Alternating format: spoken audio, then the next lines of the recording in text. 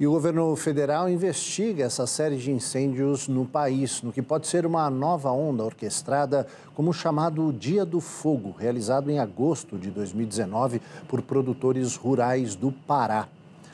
Nessa nova onda, três pessoas foram presas em São Paulo acusadas de envolvimento nos incêndios criminosos no interior do estado. Segundo a Defesa Civil, não há mais focos ativos. Mais de 40 mil hectares foram afetados pelos incêndios no interior de São Paulo, segundo a Defesa Civil do Estado. Nesse momento, todos os focos foram extintos. É, então não temos registro também de fumaça em nenhuma região do estado de São Paulo, mas nós mantivemos os 48 municípios eh, que foram afetados pelos focos de incêndio em situação de alerta máximo. O fogo afeta a região de Ribeirão Preto desde a quinta-feira passada. Duas pessoas morreram, 66 ficaram feridas. No sábado, a fumaça alcançou um festival de música eletrônica no Vale das Grutas, em Altinópolis.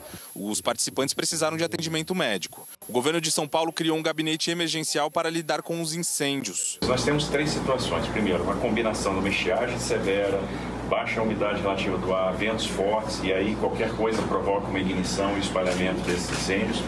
Nós tivemos a ação de criminosos. Três pessoas acusadas de envolvimento nos incêndios foram presas. As áreas em roxo destes mapas elaborados pela Defesa Civil indicam os locais onde há maior possibilidade de incêndio devido ao clima seco.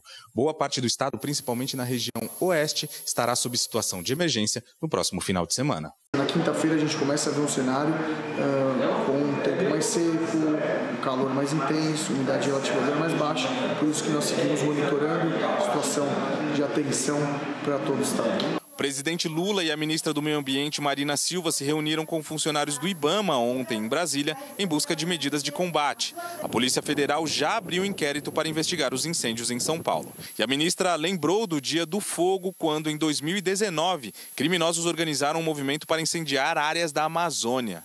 Do mesmo jeito que nós tivemos o Dia do Fogo, há uma forte suspeita que agora esteja acontecendo de novo. E em São Paulo não é natural, em hipótese alguma, que em poucos dias você tenha tantas frentes de incêndio envolvendo concomitantemente vários municípios. Este professor da Universidade de São Paulo lembra da importância de frear as mudanças climáticas, além da necessidade de uma legislação que, de fato, proteja o meio ambiente. A sociedade brasileira tem que punir crimes ambientais. Né? Esses crimes ocorrem aos milhares na Amazônia todo ano.